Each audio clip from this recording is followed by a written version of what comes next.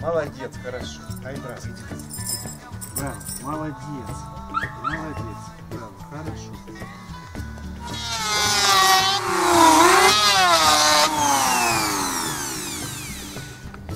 А, Привет, друзья! Сегодня вновь с вами канал Я и мой хвост. Я его автор и ведущий Олег. А, Сейчас я нахожусь на даче. Обустраиваем здесь место для того, чтобы погуляла у меня Сашка. В общем, чтобы моим любимым девушкам было все очень хорошо. И возникла такая проблематичная ситуация с собачкой, которая проживает здесь у моей тещи. Пойдемте ее посмотрим.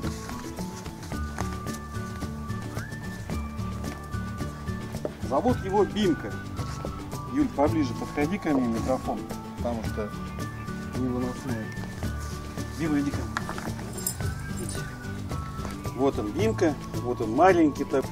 Проблема заключается в том, что в мое отсутствие, именно подчеркиваю, в мое отсутствие происходит такая проблема. Вот дорожка, очень часто ходят люди.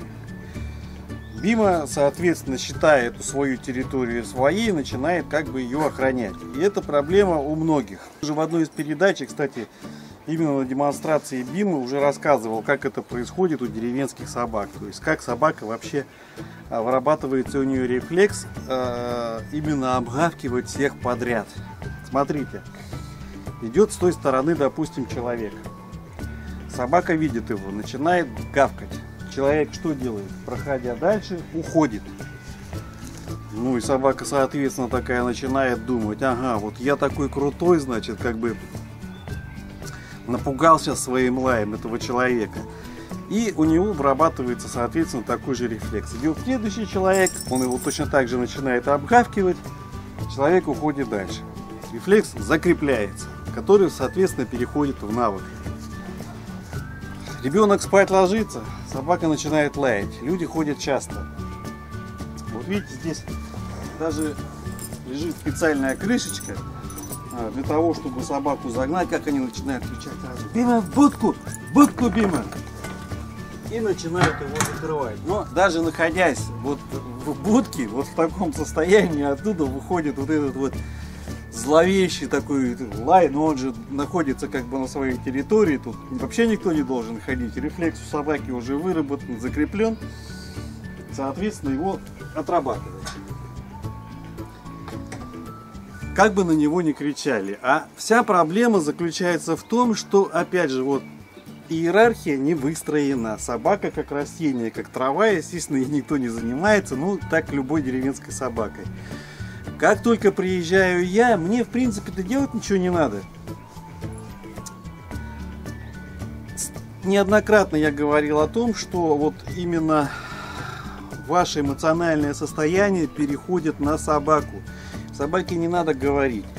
А вы, как вы ходите, как вы поступаете, как вы, какие, какая у вас жестикуляция, все это передается животному. То есть, э, вот приезжая я когда сюда, собака перестает это делать. Это не утром, не вечером, никогда не проходят люди. Когда уже конкретно подходит сюда, останавливаются, так, пришли к нам, тогда, да, он обозначает. То есть, да, действительно, кто-то подошел, и мне это приятно, это понятно, я выхожу, тогда, значит, вижу какого-то человека здесь. Ну, допустим, привезли молоко. А на мимо проходящих людей он уже перестал лаять. Почему? Смотрите, здесь территория не его, он не вожак здесь а здесь территория моя. И я, если позволяю ему охранять эту территорию, тогда он лает.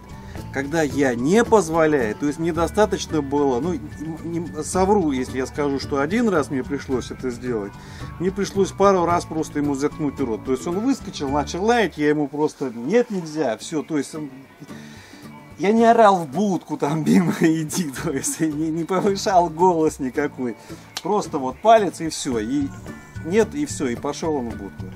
У нас очень хорошие с ним взаимоотношения. Бимочка, Бима, иди ко мне. Мой мальчик. Вот видите, у него ушки поджаты. Ушки поджаты, он демонстрирует то, что он как-то подчинен мне. А я никогда не, не, не бил его, там, не кричал на него. То есть мне вот достаточно было сказать вот этих слов. Поэтому, друзья мои, заслужите доверие, заслужите уважение, и у вас все получится. И если у вас проблема э, лающей собаки, которая находится в частном секторе, то вам нужно выстроить отношения таким образом, что вы, именно вы владелец территории, и именно вы разрешаете, либо не разрешаете охранять свою территорию. И тогда проблема лающей собаки у вас исчезнет. Спасибо, с вами был канал Я и мой хвост, я его автор и ведущий Олег.